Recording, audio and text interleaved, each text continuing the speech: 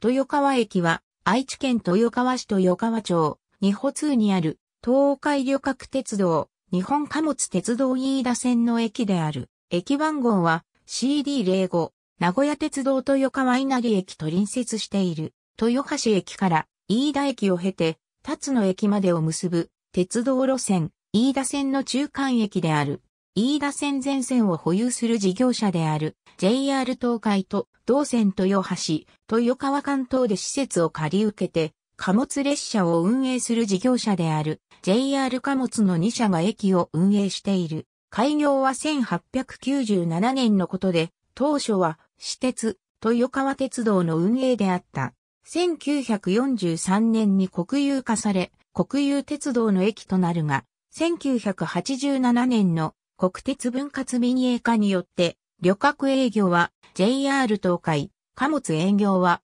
JR 貨物が担当する現在の形態へと移行した。駅は豊川稲荷の門前町として発展した豊川市の中心市街地に位置し、年間100万人1日あたり3000人を超える乗車客数がある。飯田線唯一の優等列車である特急、稲路の停車駅の一つであるほか、豊橋との間を結ぶ区間列車の終端でもある。また、隣接して名古屋鉄道豊川線の豊川稲荷駅が設置されており、市内で唯一名古屋鉄道と JR の相互乗り換えが可能である IC 乗車券サービスの対応駅の一つであり、都会や相互利用が可能なその他 IC カードの利用が可能である。ただし、IC カードの利用可能エリアは、飯田線では豊橋、豊川間のみであり、豊川以北では対応していない。豊川駅を開設した豊川鉄道は、豊橋を起点に、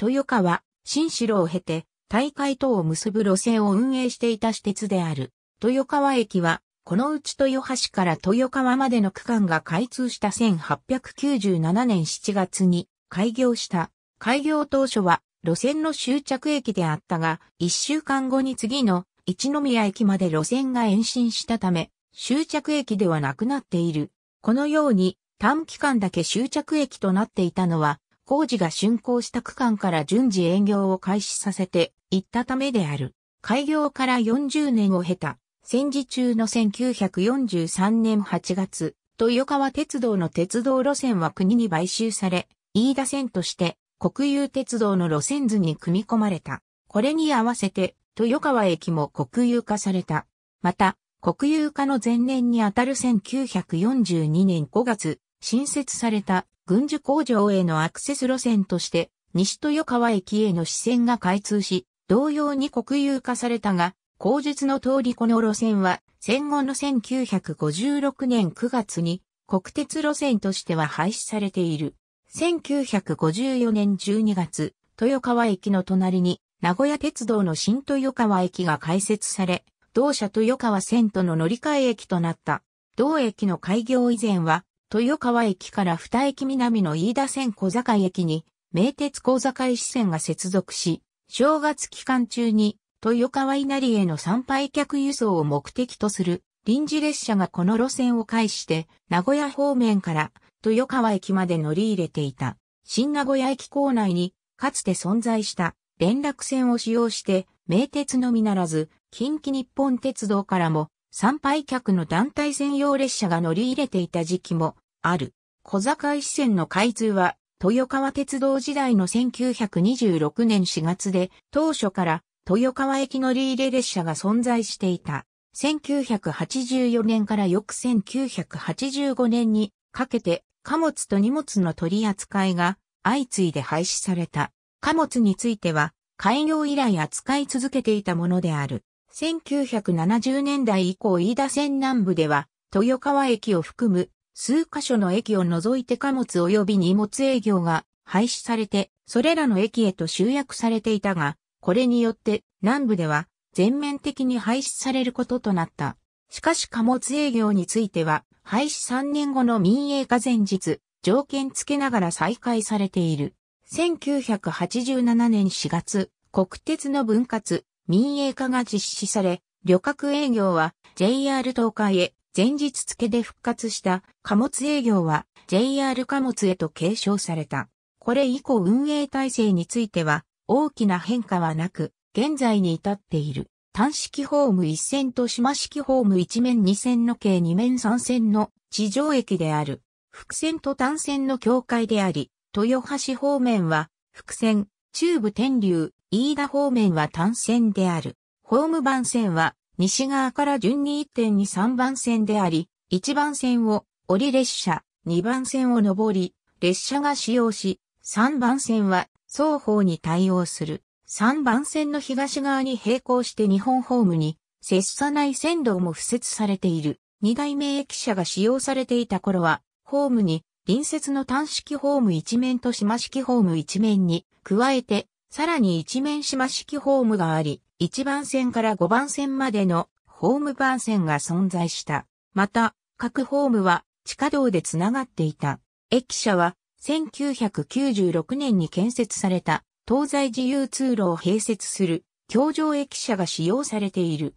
改札口等の施設はホーム上階部分にあり、西口、東口を結ぶ東西自由通路に面する駅舎内部には自動券売機、JR 全線切符売り場があるほか、改札には自動改札機が導入されている。エレベーターは改札口と1番線ホーム、または2.3番線ホームを結ぶものが1機ずつ、東口、西口で地上と橋上を結ぶものが1機ずつで合計4機あり、エスカレーターは東口、西口に1機ずつ、計2機設置されている。現在の駅舎は、豊川駅の駅舎としては3代目にあたる。JR 東海によれば、駅舎のコンセプトは、橋であり、豊川稲荷や商店街のある駅西側と東口が新設された駅東側を結ぶ架け橋となることからかつて豊川に架橋されていた旧あたり古橋のアーチをイメージしたデザインであるという。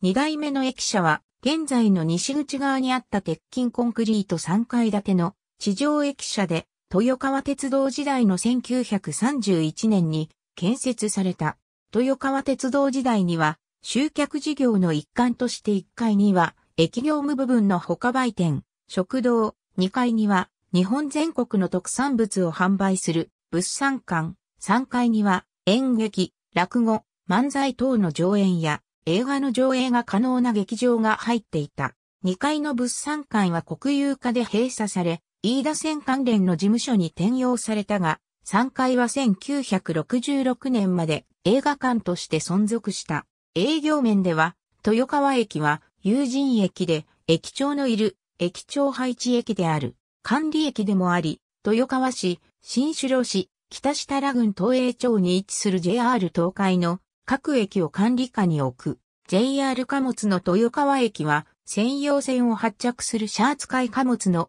臨時取扱駅である。臨時列車の設定はあるが、定期列車の設定はされていない。駅に接続する専用線として、駅西方にある日本車両製造豊川製作所へつながる専用線がある。工場との間で搬出入りされる鉄道車両が輸送され、駅からは車両輸送列車が発着する。この専用線はかつて豊川駅と西豊川駅を結んでいた飯田線の支線であったが、1956年にこの支線は廃止されて、国鉄浜松工場と余川分工場への引き込み線となり、同工場の廃止後、1964年7月に日本車両製造に譲渡されたため、同社専用線へと移行している。2017年度の乗車人員は合計120万2870人で、1日、あたりでは3296人であり、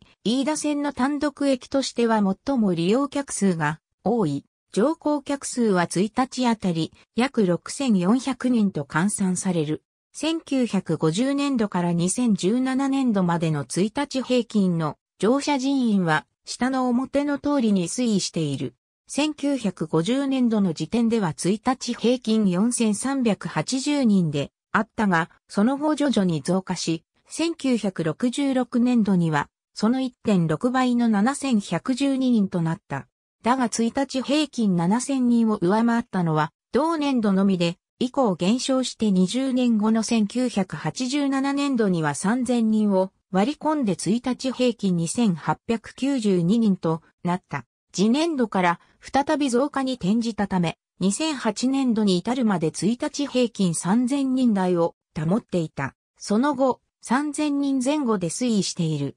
1950年度から取り扱いが一旦廃止された1983年度までの貨物取扱量は以下の通りに推移していた。なお、1987年の再開以降の数値は明らかでない。1974年度から取り扱いが廃止された1984年度までの荷物取扱い量は以下の通りに推移していた。優等列車に関しては、豊橋駅と飯田駅を結ぶ特急、稲路が1996年3月の運行開始時から停車している。普通列車は、豊橋駅行きの上り列車は1時間あたりおおむね3.4本、新城駅、本長篠駅やそれ、以北へと向かう下り列車が1時間あたりおおむね1.2本設定されている。豊橋豊川間を結ぶ区間列車があるためここから豊橋までは本数が増える。また、上り方向に1日2本ある快速列車も停車する。豊川駅西口と豊川稲荷駅 JR 飯田線、豊川駅、名鉄豊川線豊川稲荷駅を中心とする地区であり、戦前は豊川稲荷の門前町の旧豊川町の中心として栄え、現在でも門前町の雰囲気を色濃く残し、歴史ある街並みを形成する中心拠点となっている。しかし、以前は年間600万人を数えた観光客数も半減するまでに減少しているため、かつての賑わいを取り戻すべく活性化に向けた取り組みが始まっている。橋上駅舎建設により東口が設けられ、東口周辺では区画整理が行われており、豊川稲荷の門前町である駅西地区と合わせて、豊川市の顔として、駅前広場及び幹線道路、補助幹線道路等の整備を含む市街地体系の再編成を行い、新たな商業、業務機能を集積するとともに、ゆとりある生活環境空間を創出することを目指している。平成30年度固定資産税路線価で、市内で最も高い路線上位3路線が、駅東口側に集中するなど、駅前とされる西口側との逆転現象が起きている。豊か鉄バスと豊川市、コミュニティバスが発着する。西口、豊川駅前バス停、東口、豊川駅東口バス停東口のバス停は、中部国際空港行き特急バスの運行開始に合わせて2008年4月1日に設置された、東海旅客鉄道 CD、飯田線快速、普通牛久保駅豊川駅三河、一宮駅日本国有鉄道飯田線、豊川駅西豊川駅、ありがとうございます。